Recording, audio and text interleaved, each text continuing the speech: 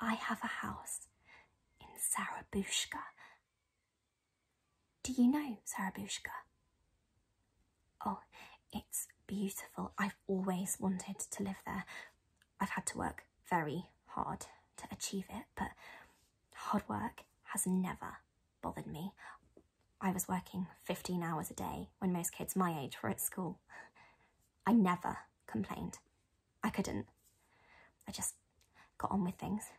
And everything I've ever done has made me stronger, filled me with. What's the word? Perseverance. I'm sure people who spent most of their youth being mollycoddled at school or by overprotective parents have a very low perseverance level. I bet it's non existent. I shouldn't wonder. And people with no perseverance shrivel at the first sign of hardship. They're like, like blossoms shrivel beneath a blowtorch. But me, well, as you can plainly see, I'm a shrivel free zone, despite uh, a battalion of blowtorches. And now,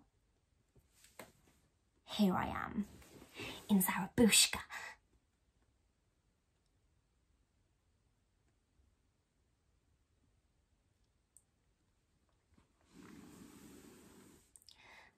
Zarabooshka is a coastal town, and my house, as it's on a hill, commands a view of the ocean which, believe me, makes all my hard work totally worthwhile.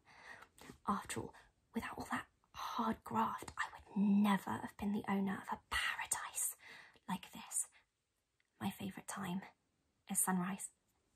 I lay in bed and watch as the sun gets higher and higher over the ocean. I like it best when there's a morning mist and everything's all shimmery and shiny. I like listening to the seagulls too. I know some people find their cries irritating, not me. Seagulls soothe me. I imagine them swooping above the waves and nesting on cliff tops. Their diet's good too. Sushi. So fresh, it's still wriggling. and no one tells a seagull what to do, do they? No one wakes a seagull up and makes it do things that no seagull should ever have to do.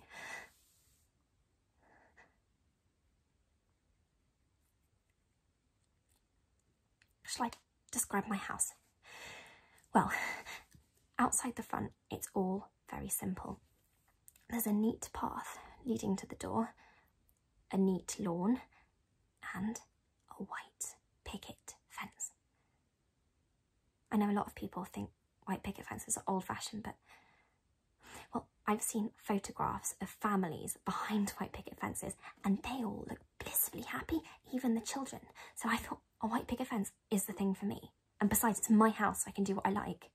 I could have an electrified fence with machine gun turrets if I wanted to, but I don't. I want a white picket fence. What next?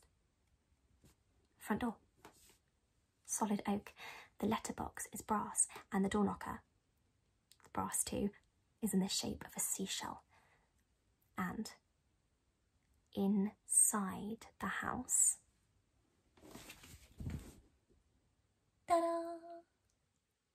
Hallway.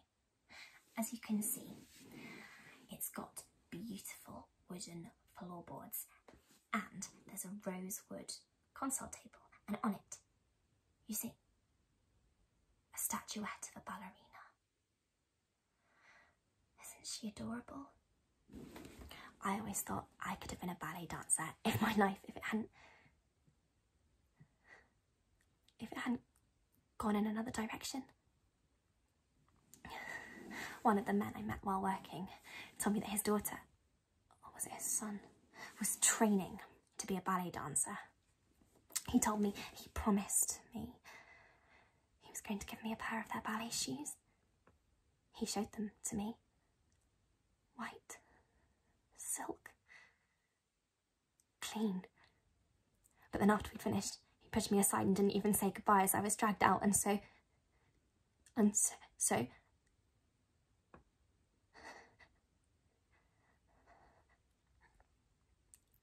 Sitting room. The wallpaper has got a floral pattern on it, pastel shades. There's a big soft sofa and a big soft armchair, two armchairs. In fact, I like curling up in one of them and gazing into the log fire. Oh, yes, I've got a real fire. None of that gas or electric stuff here. I want flames. There's a white fur rug in front of the fire. It's fake fur. I would never buy anything that hurt another living creature. My pet cat loves to stretch out on the rug and... Oh. Wait, I...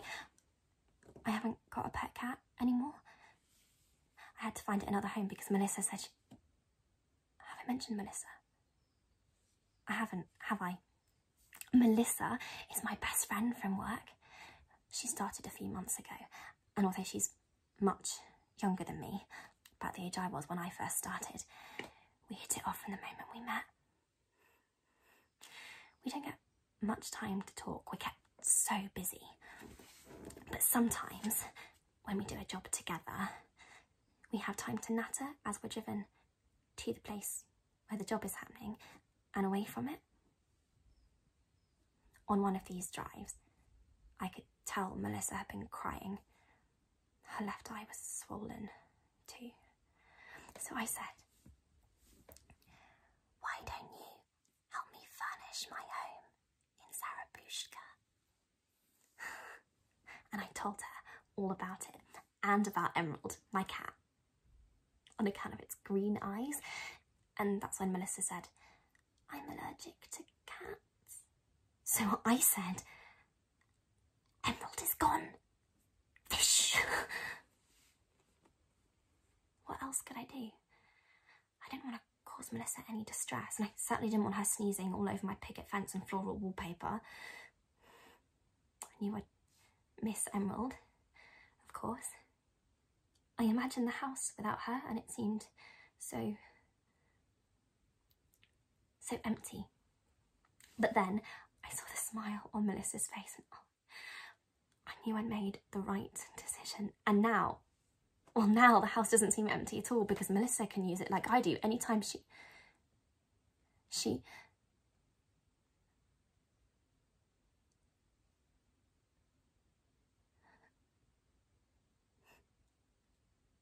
The garden. Oh, this is my favourite place. The borders, as you can see, are full of marigolds and dahlias. There's an apple tree in the corner and some magnolias over there. Oh, the pond. Do you like it? it it's, it's got fish in it, you see. They're called carp. They're Melissa's idea. She saw them when she was visiting one of her men. He had a pond just like this, though not as big, apparently. He told Melissa all about the carp as he started to stroke her hair. He promised to Melissa she could play with the carp after they'd finished, but how you actually play with fish totally eludes me, but of course, after it eventually was all over, after the man had finished doing whatever he'd paid to do, he couldn't wait to get Melissa out of the house.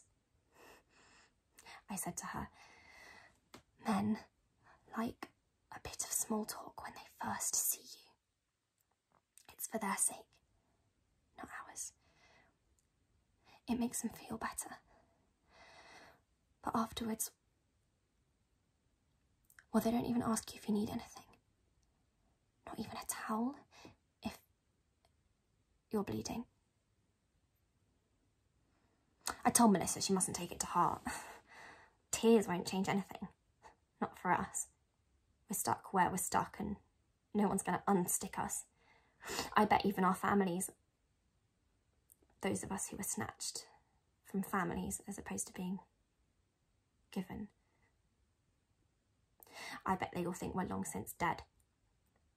murdered, fed to the crows, or rotting in a ditch somewhere. We're never going back to them, but we can go here.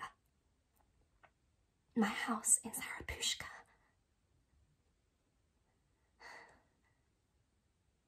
Oh, look. The cherry tree's in full blossom. I'll sit under it with Melissa when she's next here. Blossom will fall on our hair. We'll laugh and brush it away. We'll have such fun.